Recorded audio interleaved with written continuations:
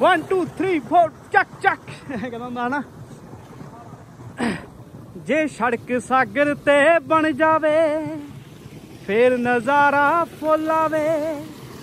Russia ਤੋਂ ਸਿੱਧਾ Alaska, ਤੇਰਾ ਯਾਰ ਕੈਨੇਡਾ ਬਾਏ ਰੋੜਾਵੇ ਨੀਕ ਚੰਨ ਤੇ ਦਫ਼ਤਰ ਬਣਾਉਣਾ ਏ।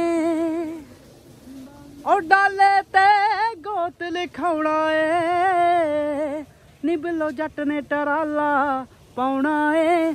ਡਾਲੇ ਤੇ ਗੋਤ ਲਿਖਾਉਣਾ ਏ। ਨਿਬਲੋ ਜੱਟ ਨੇ ਟਰਾਲਾ ਪਾਉਣਾ ਏ। ਡਾਲੇ ਤੇ ਗੋਤ ਲਿਖਾਉਣਾ ਏ। ਠੀਕ ਹੈ ਬਾਈ ਜੀ, ਧੰਨਵਾਦ ਵੀਡੀਓ ਦੇਖਣ ਦੇ ਲਈ। ਵੀਡੀਓ ਨੂੰ ਵੱਧ ਤੋਂ ਵੱਧ ਸ਼ੇਅਰ ਕਰ ਦਿਓ। ਬੱਬੂ ਮਾਨ ਦੇ ਜਿੰਨੇ ਵੀ ਕੱਟੜ ਫੈਨ ਆ, ਤਾਂ ਆਪਾਂ ਬੱਬੂ ਮਾਨ ਦੇ ਰਿਲੇਟਡ ਇਸ ਚੈਨਲ ਤੇ ਵੀਡੀਓ ਪਾਉਂਦੇ ਰਹਿੰਦੇ ਆ। ਤੇ ਇਹ ਮੇਰਾ ਵੀਰ ਬਹੁਤ ਵਧੀਆ ਲਿਖਦਾ ਹੈ। ਇਹਦੇ ਗਾਣੇ ਆਪਾਂ ਹੌਲੀ ਹੌਲੀ ਮਿਹਨਤ ਕਰਾਂਗੇ।